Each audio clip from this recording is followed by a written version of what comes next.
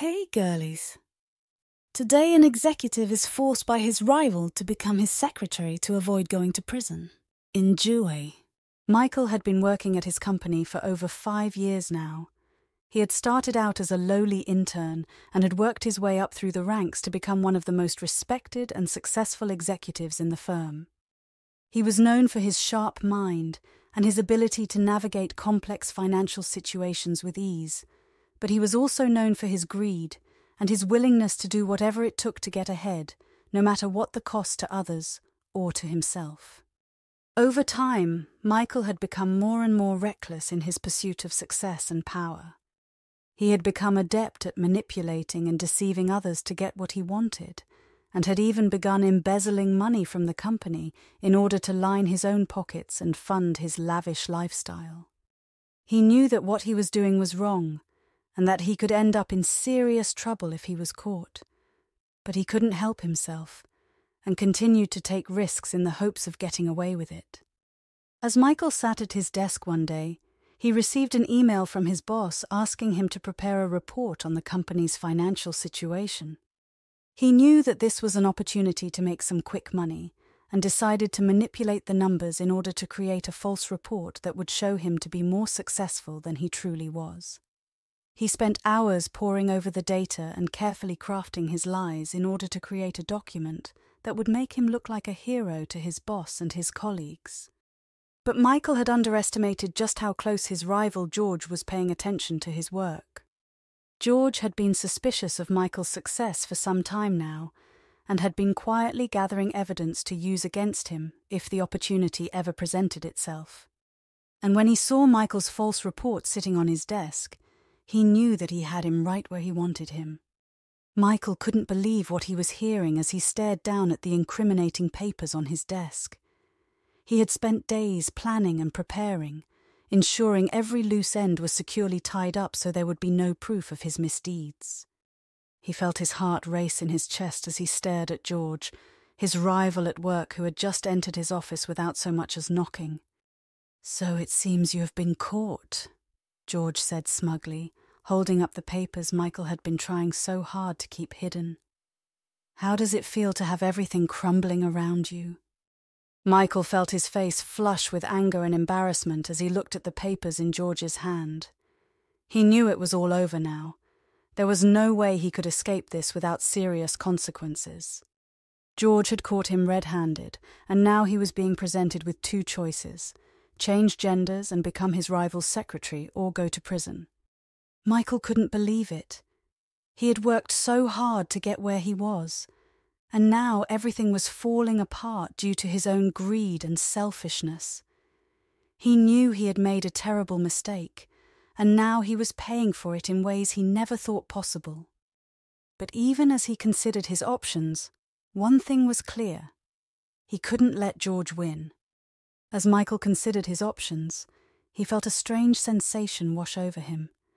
It started in his chest and quickly spread to his arms and legs leaving him feeling weak and disoriented. His muscles twitched and contracted involuntarily as he watched in horror as his body began to change before his very eyes. His chest expanded and his shoulders narrowed as his arms and legs grew longer and thinner. His jawline softened as his chin receded and his nose became more delicate and feminine in shape. Michael's face turned ashen as he realized what was happening to him he was transforming into a woman right in front of George's eyes. His heart pounded in his chest as he felt his hips widen and his buttocks soften.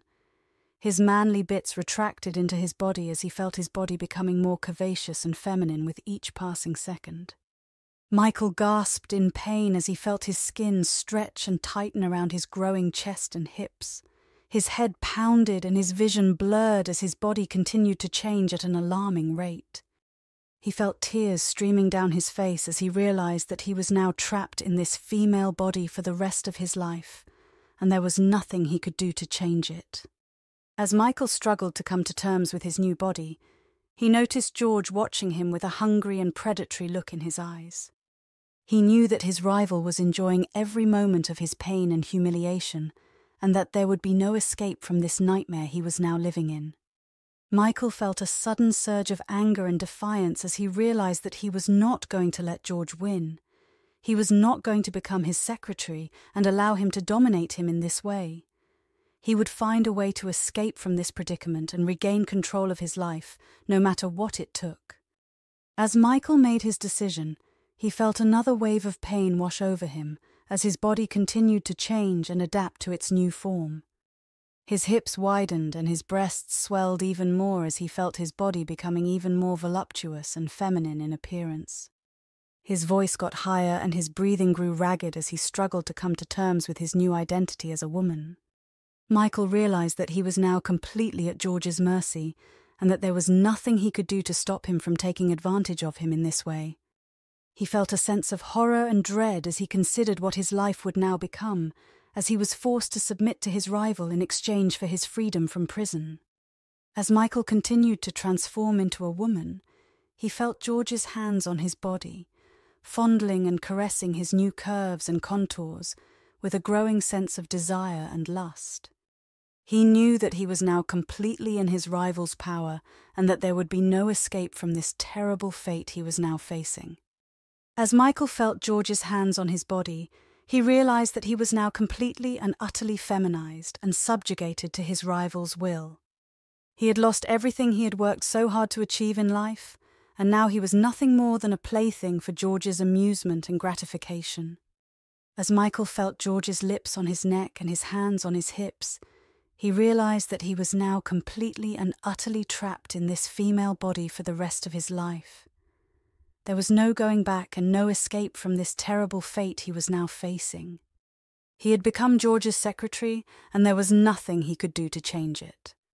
As Michela struggled to come to terms with her new life as George's secretary, he found himself experiencing a strange and unexpected sensation of pleasure and satisfaction as he began to explore her new feminine body.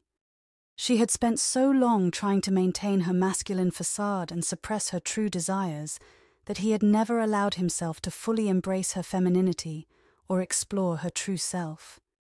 But now that he was trapped in this female body for the rest of her life, he began to see the opportunities that it presented and the ways in which it could benefit him in her pursuit of pleasure and gratification. At first, Michela was hesitant and uncertain about her new body and how to use it to its full potential. She had spent her whole life as a man and had no idea how to navigate the complexities and nuances of being a woman. But as he began to explore her curves and contours and experiment with her newfound power, he realized that there were so many ways in which he could use this body to her advantage and make others submit to her will in ways that he had never thought possible before. As Michela started to navigate the world of womanhood and embrace her new identity as a gorgeous woman, he began to attract the attention of other men who were drawn to her stunning beauty and seductive allure. She knew that he could use this to her advantage and began to manipulate and control her interactions with others in order to gain power and influence in ways that had never been possible before as a man. Michela's days were now filled with steamy encounters and pleasure as he used her newly transformed body to seduce and dominate those around him. She had become a master of the art of flirtation and seduction, using her charm and wit to manipulate and control others in ways that left them feeling powerless and subjugated to her will. And as he continued to explore her new body and embrace her true identity as a woman, he began to realize that there were so many more ways in which he could use it to her advantage and achieve her goals and desires. Thanks for watching the video. Don't forget to follow us on other social media Enjoy your girly day.